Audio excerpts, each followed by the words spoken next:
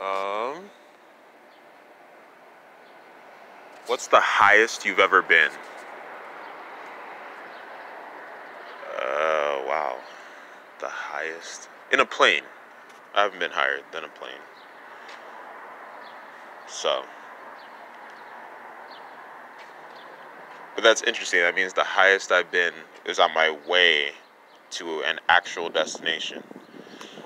So when I went to Nigeria, the first and the second time, when I went to, except for times that I drove somewhere or was in a car.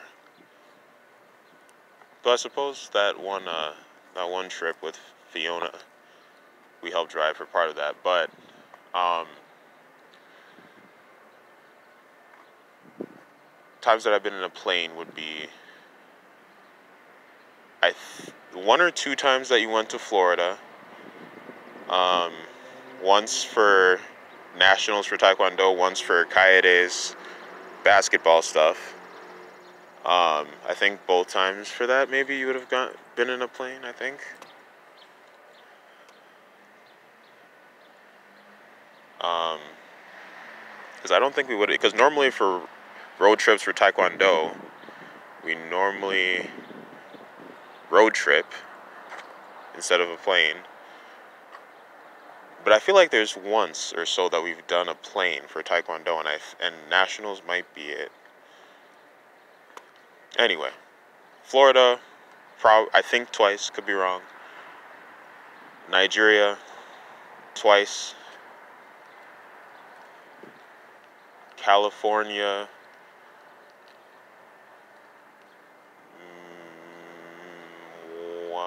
once or twice. I don't know. Um,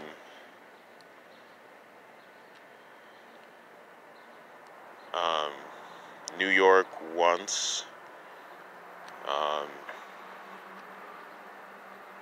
Denver, Colorado. I, I would, I would think we had to have flown at least once. Um, but that's interesting. On your way to these, um, to the to your actual destinations, that's when you've been your highest that you've ever been is on the plane, not yet at these destinations. So that's interesting. So maybe metaphorically, your highest points in life won't be at your actual destination, but on your way. So, interesting. Because I don't think you've been higher than in a plane. Like, where else would you have? The only place higher to go would be like space.